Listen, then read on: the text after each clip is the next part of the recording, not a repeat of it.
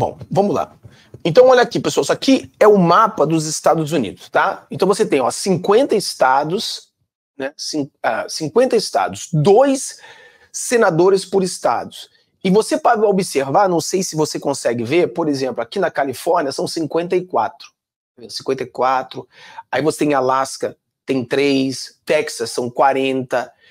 Esses são os votos, entendeu? Então, por exemplo, o que acontece? Azul é esquerda, vermelho é direita.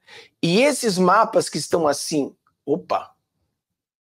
Agora deu tilt aqui, cara. Bom, voltou. Vamos aumentar de novo aqui. Tá de zoação. Ao vivo é assim, pessoal. Ao vivo é assim. Dá um tilt às vezes. Ai. Bom, não sei o que aconteceu aqui agora, mas vamos ver aqui como é que tá aqui. Volta. Pronto. Aí. Pronto. Então, essa cor aqui, bege, é os estados que têm dificuldade. Por exemplo, eu tiraria Arizona também. Eu colocaria bege. Arizona. Botaria bege aqui também. São os estados que são complicados, né? Digamos assim. Eu diria assim. Aqui bege também. Mas o que a gente vai falar hoje é, por exemplo, ó, é bem complicado as eleições americanas. Você vê, Califórnia tem 54. Fábio, o que são 54? São 54 votos que vão contar para 270. Então, se você quiser chegar a 270, você precisa desses votos. Mas esses 54 votos da Califórnia, por que a Califórnia tem mais votos do que qualquer lugar? Porque a Califórnia é o maior estado dos Estados Unidos, né? É o com maior popularidade. Então, o que acontece? Como no Brasil, o estado que tem um número maior de população ele tem o maior número de deputados, né? Porque o deputado é uma porcentagem da população. Né? O deputado ele representa a população de um estado. Então, como a Califórnia é o maior estado dos Estados Unidos, tem o maior número de deputados. Então, na Califórnia, nós temos 52 deputados federais. E o número 54 é 52 deputados mais dois senadores, que são 54. Então, os representantes da Califórnia são dois senadores e 52 deputados, então 54 votos. Quem ganha na Califórnia ganha 54 votos. Quem é que vai ganhar na Califórnia? O Biden. O Biden sempre vai ganhar na Califórnia. Então, por exemplo, os democratas eles já têm 54 votos. E, não, e aqui o que a pessoa tem que entender é que indiferente se o Biden ganha por 10 milhões de votos, ou se ele ganha por 1 milhão de votos, ou se ele ganha por dois votos, o Biden leva 54 votos. Por isso que o Donald Trump ele vai perder no número de votos, mas vai ganhar porque ele vai chegar a 270 pontos. Por quê? Porque aqui o Trump vai perder de tipo 15 milhões a 10 milhões. Então ele perde por 5 milhões de votos. No Texas, o Trump vai ganhar, mas o Trump vai ganhar no Texas por 1 milhão de votos. Entendeu? Na Flórida, o Trump vai ganhar, mas vai ganhar por um milhão de votos. Só que na Califórnia ele perdeu por 10 milhões. Em Nova York, ele vai perder por 2 milhões. Então, no total, o Biden terá mais votos do que o Trump. Mas o Trump não se importa com isso. O Trump ele se importa com esses números: 40, 30 e esses números. E de acordo com as pesquisas agora, Nevada está indo Nevada está indo para o lado vermelho. Mas de acordo com as pesquisas agora, isso aqui, que é o Arizona, ele está indo assim azul, está indo para o lado azul. Esses aqui está indo para o lado azul.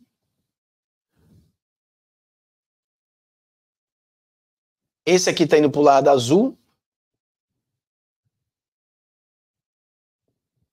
Eu acho que esse aqui está no lado vermelho. Esse aqui está indo para o lado azul e esse aqui está indo para o lado azul. Então, por exemplo, se você observar, é esse é o cenário atual. E nesse cenário atual, nós teríamos, olha, os indo para o lado azul, se nós conseguíssemos, se nós conseguíssemos, esse aqui, esse aqui para o lado vermelho, é azul, sorry. Azul não, pô, vermelho, eu tô botando, porque eu penso no azul, tô pensando, esse aqui é azul. Azul à esquerda, pessoal. Vermelho Vermelho é direita. Às vezes, quando eu tenho tanta raiva do vermelho, que eu boto o vermelho do lado errado. Desculpa, isso aqui é tudo vermelho. Pronto. Então, por exemplo, isso aqui é o que o Trump. Então, nesse cenário aqui, o Trump estava indo para 299 votos. Ele só precisa 270 para ele ganhar.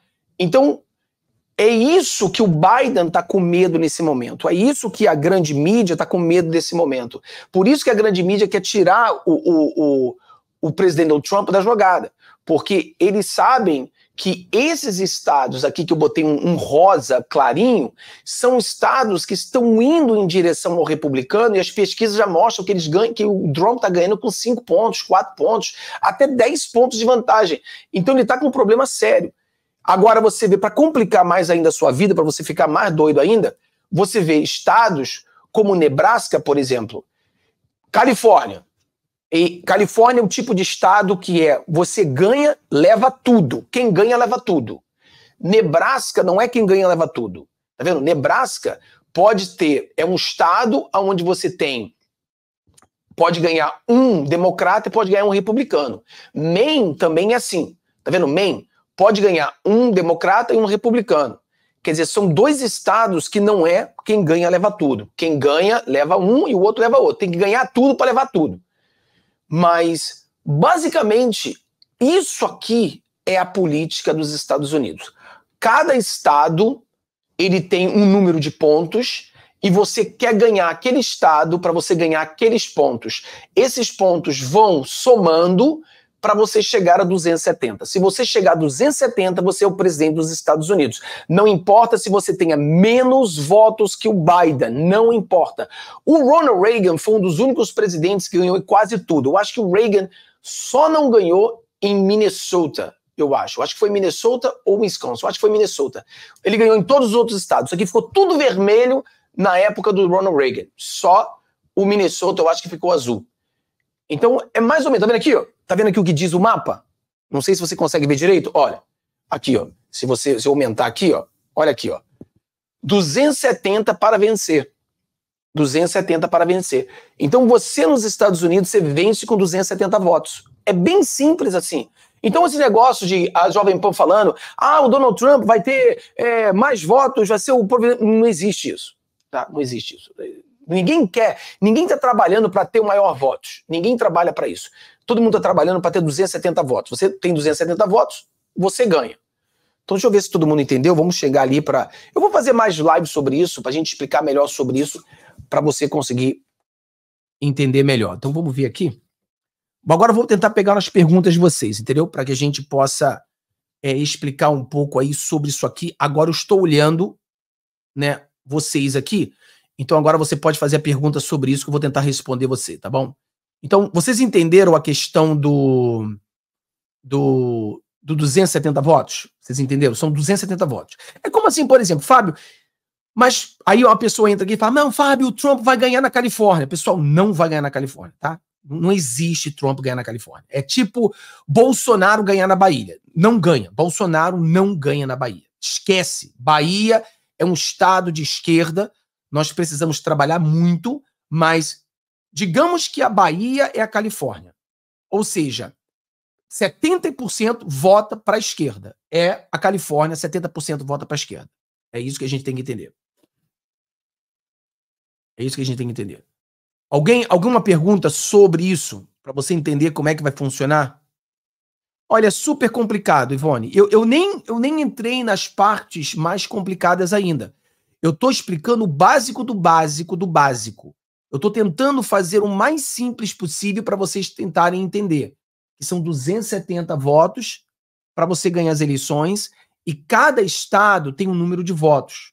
E lembrando a você que são 50 estados nos Estados Unidos, dos senadores por estado. Então, no mínimo, né, você vai ter os dois votos do senador né? E você vai ter, por exemplo, um representante. Então, o estado, por exemplo, como Alasca, são três, três votos.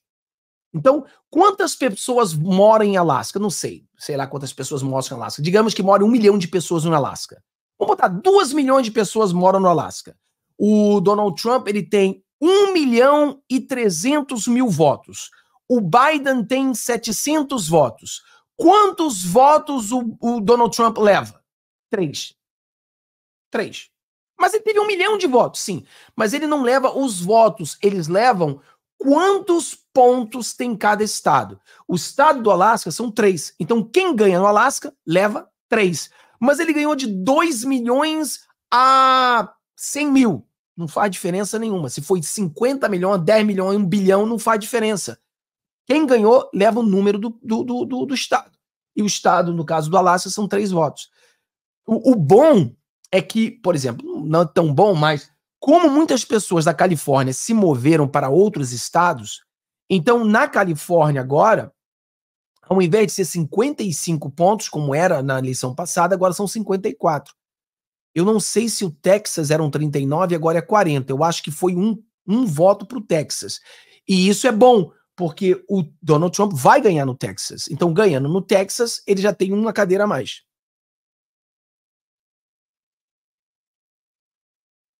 Alguma pergunta sobre isso? Vamos lá.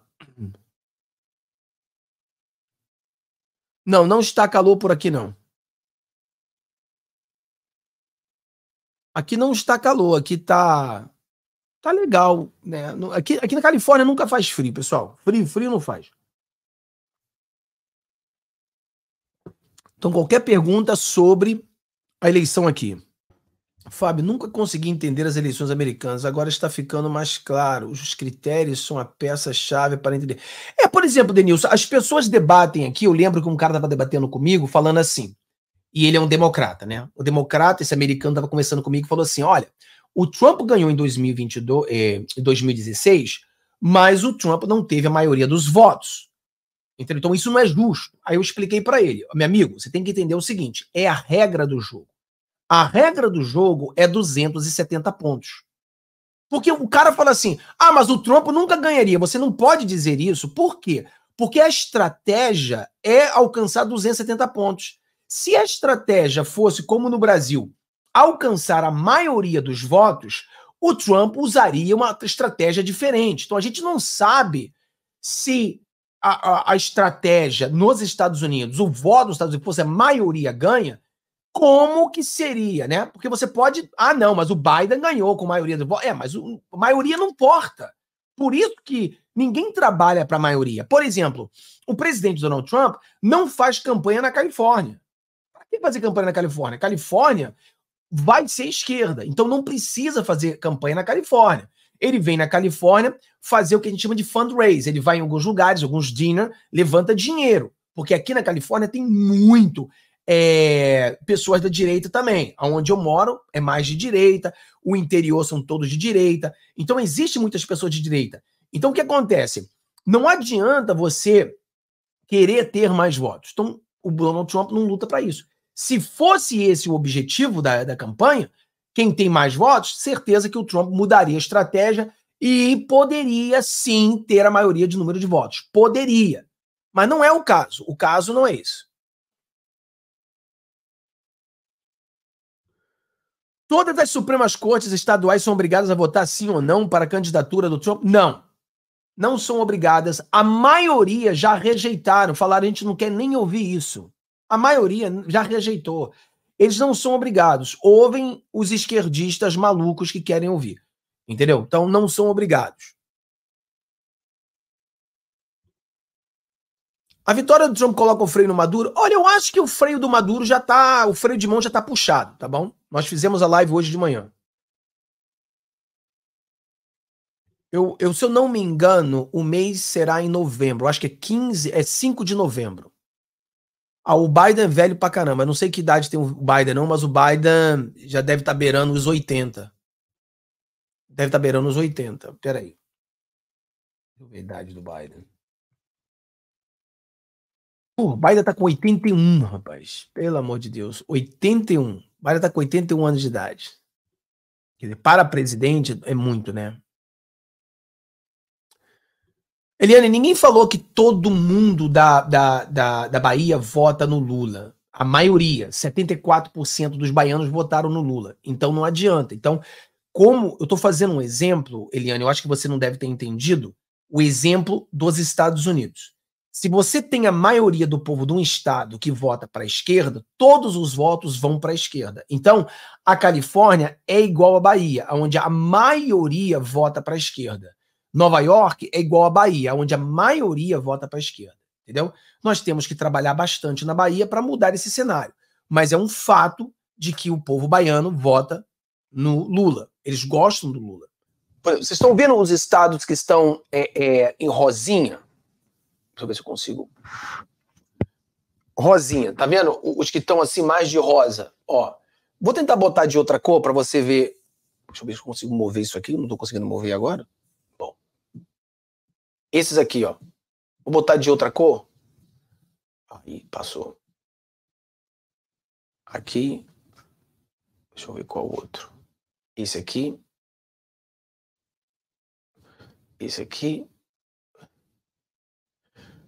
Deixa eu ver se eu consigo mover agora para cá. Não estou conseguindo mover isso. Ah, consegui. Pronto. Aí esse aqui. Uh, voltou. Come on, man. Ai. Tá de zoação comigo. Tá bom, vou fazer assim, melhor. Esse aqui.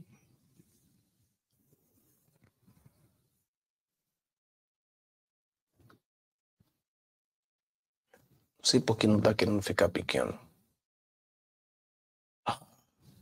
Melhorou. Então, tá vendo? Esses que estão de cor assim, como bege, bege, esse aqui também. Cara, a eleição, a eleição americana, para a gente botar ela bem simples, é o seguinte: quase todos os outros estados, vou, vou fazer assim para simplificar para vocês. Olha, vou fazer simplificar para vocês. Olha, tá vendo? É assim a eleição americana. Quase todos os estados já têm já o vitorioso, basicamente. Antes de começar as eleições, você já sabe que Califórnia ganha o, o Biden. Olha, Texas, a mim, Nova York ganha o Biden. Aí Texas ganha o Trump. Flórida ganha o Trump. Aí esses lugares aqui no meio, né? Montana, esses lugares ganha. Oh, isso aqui também ganha Trump. Não sei por que eles botaram isso aqui azul. Isso aqui também ganha Trump, não sei porque estava outro color. Mais ou menos isso aqui, ó. Isso aqui, Colorado ganha o, o, o Biden, né? Basicamente é isso. Então a disputa na, na, nas eleições americanas é basicamente isso: Nevada, Arizona, é, Minnesota, Wisconsin, Michigan, Pensilvânia e Georgia. Estão realmente a, eleição americana. O resto está quase tudo determinado. É, é, isso aqui é mais ou menos isso. O cara que mora em, em Idaho, ele já sabe que o Trump vai ganhar. O cara que mora em Montana já sabe que o Trump vai ganhar. O cara que mora em Washington já sabe que o Biden vai ganhar. Oregon já sabe que o Biden vai ganhar. Aí a disputa: Nevada, Arizona, Minnesota, Wisconsin, Michigan, Pensilvânia e Georgia. That's it. São, ó, um, dois, três, quatro, cinco, seis, sete estados sete estados que eu acho que ainda tem, apesar de que Minnesota está indo mais para a esquerda, aí você tem esse aqui. Então é mais ou menos isso. Então a disputa das eleições é o presidente Donald Trump vai botar muito dinheiro em Nevada, o Trump vai botar muito dinheiro no Arizona, muito dinheiro em Minnesota, Wisconsin, Michigan, Pensilvânia e, e Georgia. Vai ser aonde você vai ter o seu dinheiro. Entendeu? E o Biden vai fazer a mesma coisa. Por exemplo, não tem para que botar dinheiro na Califórnia, porque Califórnia o Biden já ganhou. Não tem para que, esquece. Não tem para que botar dinheiro em Illinois. Illinois o Biden já ganhou. Nova York, Biden já ganhou. Agora, não tem para que o Biden botar dinheiro em Montana, o Biden botar dinheiro em Wisconsin, Wyoming, I mean, Wyoming, é, é, North Dakota, South Dakota, isso aqui é tudo republicano. Então, basicamente é isso, cara. Então, a eleição americana são 50 estados que já estão definidos, menos 1, 2, 3, 4, 5, 6, 7. Sete estados. Sete estados. Então, os sete estados. Os sete estados serão definidos agora nas eleições e ver quem é que vai ganhar. É bem, é bem simples assim. Sete estados.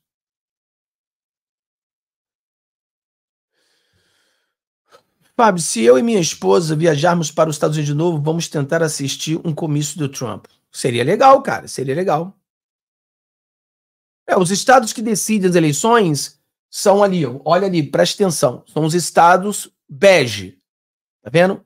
AZ, Arizona, NV, Nevada, MN, Minnesota, Wisconsin, Michigan, PA, Pensilvânia, GA, Georgia. Esses que decidem.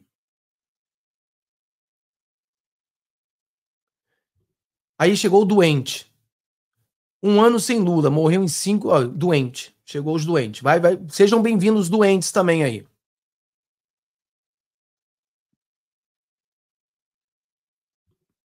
Fábio, essa votação na Bahia tem a ver com a cabide de emprego no Estado, como aqui Natal? Com certeza, é, é, é, um, é um Estado que as pessoas. Que, o maior problema que nós temos na Bahia é a manipulação. As pessoas são manipuladas. Certamente as pessoas assistem muito a TV, as pessoas se ligam muito nessas coisas, então são muito manipuladas. Durante 20 anos estão no poder. Esse é um problema sério.